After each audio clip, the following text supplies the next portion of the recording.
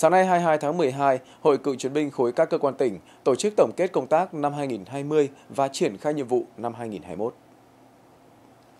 Năm qua mặc dù gặp rất nhiều khó khăn do ảnh hưởng của đại dịch Covid-19, song Thường trực Hội cựu chiến binh khối vẫn kịp thời hướng dẫn Hội cựu chiến binh cơ sở xây dựng kế hoạch hoạt động, duy trì tốt công tác tuyên truyền giáo dục và thực hiện tốt nhiệm vụ chính trị, nổi bật là các hoạt động kỷ niệm 90 năm thành lập Đảng, 41 năm chiến đấu bảo vệ biên giới, 45 năm giải phóng miền Nam, 130 năm ngày sinh Chủ tịch Hồ Chí Minh,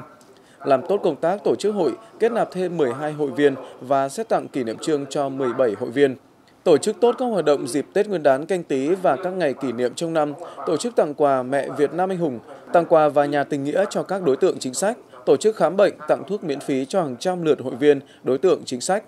ủng hộ công tác phòng chống Covid-19, đồng bào miền Trung gần 200 triệu đồng, tổ chức tuyên truyền về Đại hội Đảng các cấp, giới thiệu động viên gần 70 cán bộ, hội viên cựu chiến binh tham gia cấp ủy nhiệm kỳ 2020-2025, duy trì hiệu quả phong trào thi đua tích cực tham gia hoạt động văn hóa, văn nghệ, thể dục thể thao và tham lại chiến trường xưa. Hội nghị cũng tập trung đánh giá, làm rõ kết quả cùng những hạn chế cần rút kinh nghiệm trong tổ chức hoạt động, đồng thời thống nhất 6 nhiệm vụ trọng tâm năm 2021. Với thành tích nổi bật, nhiều tập thể và cá nhân được khen thưởng. Nhân dịp này, Thường trực hội đã tổ chức chia tay chủ tịch cùng các ủy viên ban chấp hành nghỉ chế độ.